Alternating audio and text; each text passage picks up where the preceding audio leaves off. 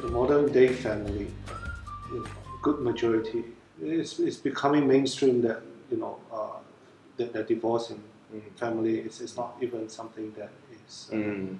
uh, that, that is being hidden. Mm. Um, what if what, what what if you know kids grow up in dysfunctional family? Mhm. You know how do you how, how- how do you give them the best situation to, to grow up to have a balance? As mindset? parents, Yeah, yeah, yeah.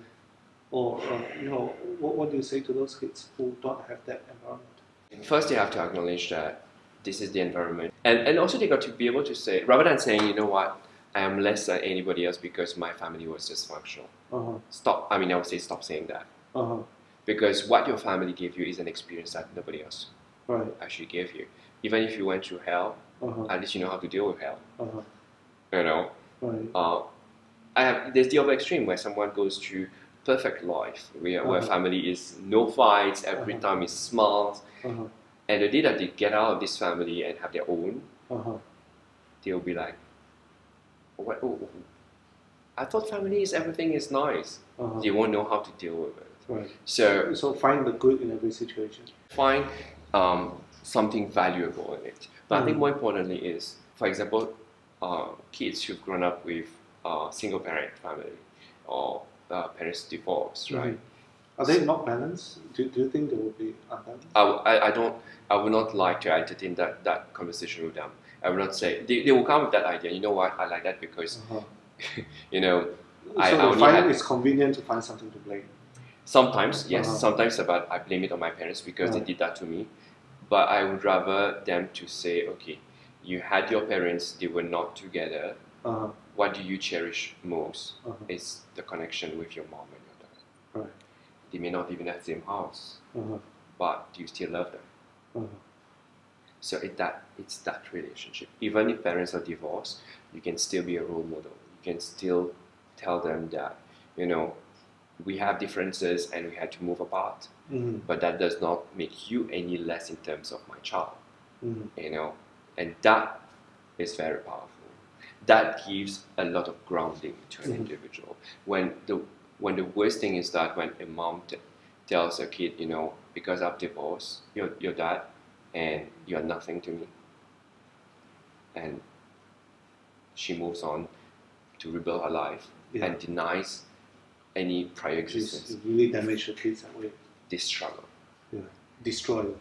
it, that struggle will be lifelong. Yeah. And they will reach to reach a point where they realize that my idea of what my image of what mom should be is not being met by that person, Wow. but mom can be someone else. Sometimes stepmom, sometimes grandma, sometimes sister. So the control has to be in your own hand. It is always Right. it is the image that we have. As a child, we all have an ideal idea of, whether consciously or not, we all have an idea of how we want mom and dad to be. Perfect. family. It- It's different for everybody, but we all have that. You know, I, you could you could just walk on the street and, and ask anybody, you know, what's the perfect mom? What is the perfect dad? Everybody will be able to tell you something. Uh-huh. But then sometimes the cards that life Mhm. deal us with, we have to realize that that image, where we get dysfunction sometimes is when we have those images of what a perfect life is. Mhm. There's not much reality. Mhm. and when there's an imbalance, then how we cope with that, you know, to re- make sense of that that reality that we have. If we have the right coping mechanism, then we are still balanced. We are still um, effective into having a, a, a, a, full life.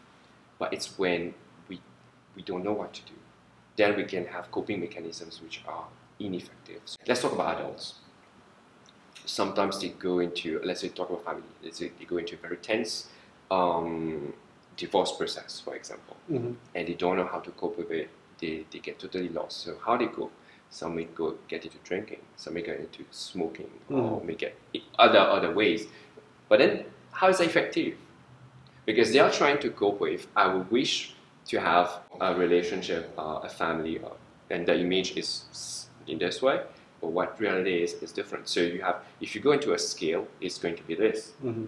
So what we all try always try to do in life we're always trying to create balance Right.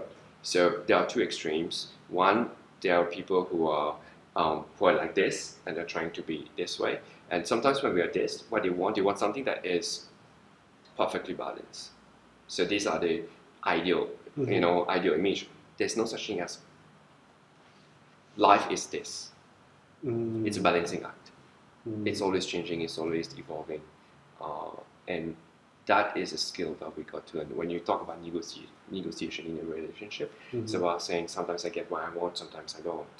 mhm. You know, as long as I don't go off scale too much, where I become dysfunctional, Right. how can I keep my balance? You know, and that is is an art, the art of of, of building relationships. What, what would your advice be to live a good life, a happy one? Whoa, that's that's a tall order. Uh, it's a very simple question. it's a very simple question, but uh, let me put it this way: What's a good life? Everybody has a, Uh-huh, their own idea. That's the first thing. right. Don't even talk about the whole idea of happiness. Uh-huh. You know, you can go to a, a, a bookstore and there will be like shelves and shelves of books about happiness, right? And everybody will have their own definition of what Right. happiness is. I think, in my idea, is what is a good life Mm. is when, and that's how I live by it, Uh-huh. is when who I am internally Mhm. and who I project Mhm. is the same thing. Ah, not fake. I don't have to put a mask. Uh-huh. Okay, we always have to put a mask. There's no such thing as I am, you know. Uh-huh. Um, but I would not be um, non-congruent. Right. So my private self, personal self, is as close as possible to. So basically, I, I, I tell people what you see, yourself. what you see is what you get. You know, and to me, that striving towards that is a way of saying living a life being genuine, Mhm. being connected with myself, and that helps me to connect with people without trying to pretend to be someone else. Um, you- you- you're working very closely with young people Yes. uh, in you know providing providing counseling to them. Mm-hmm. Um, you know, I would be interested to hear from you. You know, what are the skills required for them to thrive? Uh, you know, to get to the next level, uh, to, to succeed and to lead in the 21st century. Well, I think, of course, if we are talking about uh, technical skills, that's that's one area that you have to to equip themselves. But I think for me, uh, in my capacity, what, what I feel is that the word that comes when you ask me this question, right? The word Mhm. that comes to my mind is um, teach them how to connect. Right. You know, it's It's a lost art, isn't it? it's a lost art. It's you know you can have all the degrees you want, all the skills that you want, Mhm. but when you are down there at the job, Uh-huh. you know, and you've got something to fix and you don't know how to connect. Don't know how to fix things through people. Yes, you don't have that people skills. You don't Uh-huh. have that ability to relate with others. How do you work as a team? How do you work in a company? How do you work anywhere, in fact? Uh-huh. Because this world is so connected. How now. do you develop those kind of skills? Put well, down your phone. well, That's one way. one one way is to really connect with people face to face.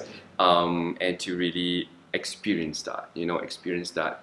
How do I deal when my friend does not agree with me? Right. You know, it's not something that it is not something that you learn in the book. No. There's no school for that.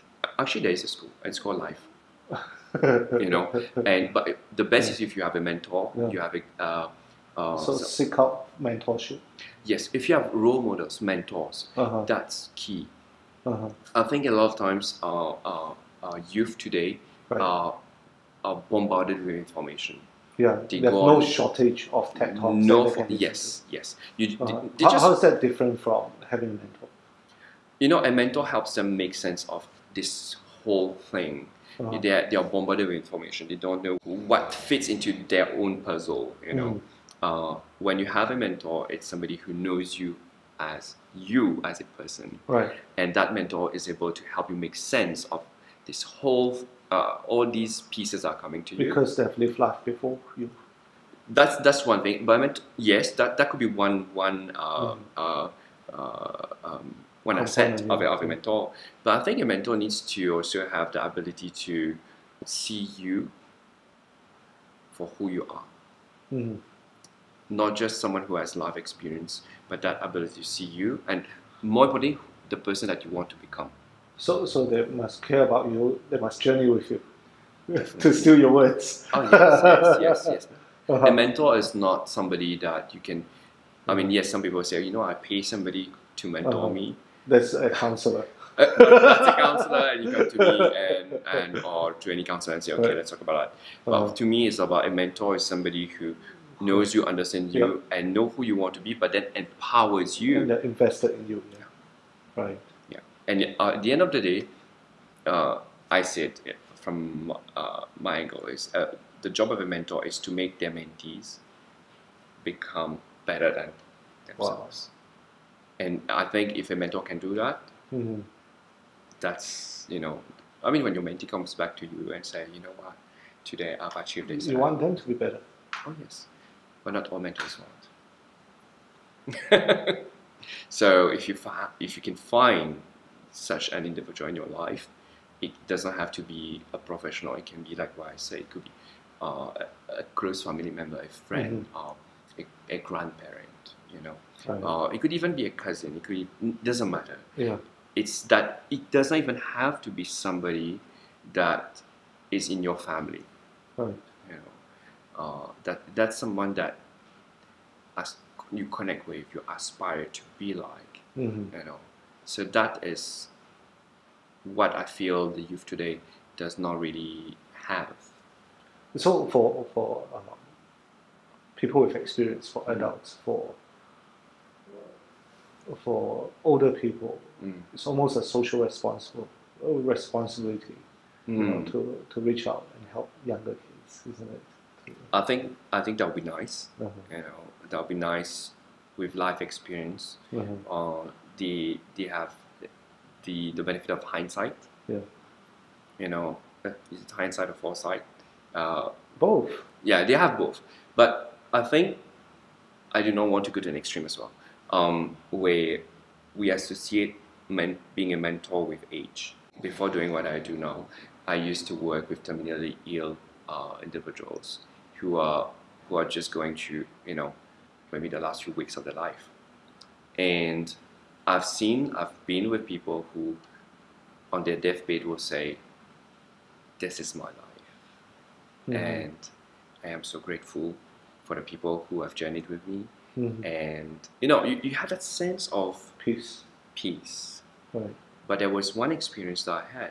There was this elderly man who could not die. Nurses will tell me there's nothing we can. It's just like medically there was nothing, but he just held on. hmm And and Is I, he afraid or He was not you fear. can't let go or something? it was a fear. Uh-huh. And I asked them, said, so what, what, how, how can that happen? They said, he just cannot die, you know. And I was very intrigued. I said, what do you mean cannot die? So Yeah. I went, I went in and I sat with him. Uh, I was able to have very long conversations with him at least three times, and um, I gave him space to um, grieve. Grieve things that he wished he could have done Mhm. grieve the loss of not not the loss not grieve the fact that he didn't nurture the relationship with people who were important to him in his Right. life and he was he just talked about that Uh-huh. he, he and after three sessions he passed away Wow. and I was not there he passed away at night Uh-huh. the next day I went in and I asked her so where is Mr. So and so and then she was like he he's gone I said how was it I said it was the most peaceful thing ever Wow. so, so what I mean by peace with yourself. Yes. It's important. it's very important. So you can. It's not about age. That person Uh-huh. was really old, Uh-huh. but you can have a lot of internal turmoil. You can you can be really unsettled. So m- being a mentor is not always about age. Right. It's sometimes about that inner. The insight, as you say, of the 15 and that 17 year old that, that Yes. see things that you yes. Yes. Correct. Right. correct. It, it, you can have a very young, uh, chronologically by age, Uh-huh. young person, don't. but Uh-huh. the insight Right. that that person has about life is so much more. Right. than Just as my daughter's teaching me about life all the time. Yeah, Yeah. they, they will surprise you. Right. They will surprise you, and and that is what to me I feel is truly mentoring. It's a very deep conversation that we've just Mm. had. This is amazing. Yeah. Um, I, I normally would end with this question. Mm. You know, what change would you like to make? And, and uh, you know, we're coming towards the end of the year. It's a good time to think about the change in the short term Yes, and the long yes. term. Yes. So you can choose either or, you know, in 2019 or, you know, in general. What would Jean Bernard Sampson like to change? the change I would like to see is um, people realizing that we are not, we are more than what we think we are. Jeez, that's deep. That's another hour of conversation. Yes. No, what I mean by this is, is through my work, Uh-huh. uh, that's really the change that I want to make for myself. Mhm. Is to really, while being conscious of me being a counselor, but never losing sight, never ever losing sight that my power in the position that I'm given is to be human. Wow. And I think that's one thing for 2019 that I would like to always remind myself and, and even go further than you know in that in that in that Uh-huh. journey. Um, because I've seen the impact it can have for both the pers- the people that I connect with and myself, Mhm. and I would like to see that happen That's profound. even more. That's profound. You, you're a good human being. Oh, I hope You- so. You're a good. Thank you so much. You're welcome.